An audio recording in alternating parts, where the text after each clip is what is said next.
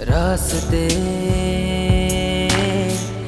इस तरह से ऐसे मुड़ गए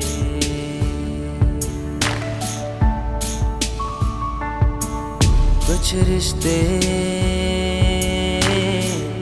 इस तरह से ऐसे जुड़ गए।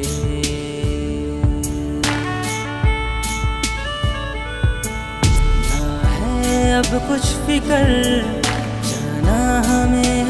किधर ना है अब कुछ फिकर? जाना हमें है किधर? तू ही बता दे मुझे। कैसा है मेरा सफ़र?